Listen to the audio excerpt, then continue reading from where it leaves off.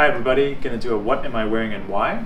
Uh, so today I'm wearing a Liverano navy blazer, I'm wearing an Ascot Chang button down shirt, a Drake's tie, Pommella trousers, and Yohei Fukuda um, derbies.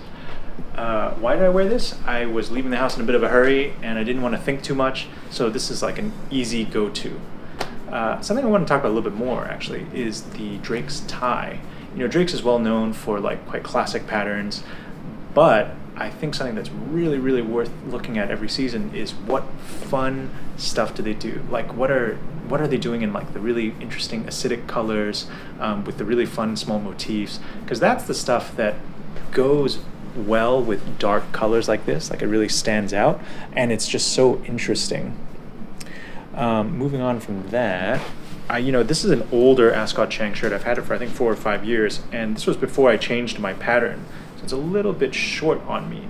I was going to try and drop this off with Ascot Chang at some point and have them change the cuff. Because if you have a shirt that ends up being a little short, you can obviously change the whole sleeve, or if you want to just save a little bit of material, you could make a slightly longer cuff. And, you know, if you're wearing a jacket the whole time, it's all covered, like, it's not that big a deal. It's a bit of a kludge, but it might give you that extra centimeter or two that you need. Um, I also wanted to mention my glasses because I always forget to talk about my glasses, and many people have asked. So I never think that much about what glasses I'm going to wear. Like I internalized the logic a long time ago, I guess.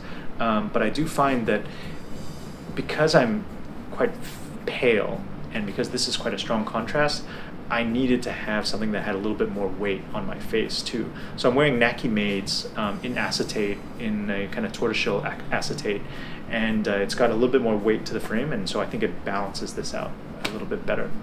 And then finally, a little watch check. I'm wearing the SBGZ 001, which is an engraved um, Grand Seiko that they did last year for the Spring Drive's 25th anniversary. Um, I've been promising an article about this thing, and it's in final fact checks with Seiko. I'm pretty sure it'll be out next week, so keep an eye out for that. And uh, thanks for watching.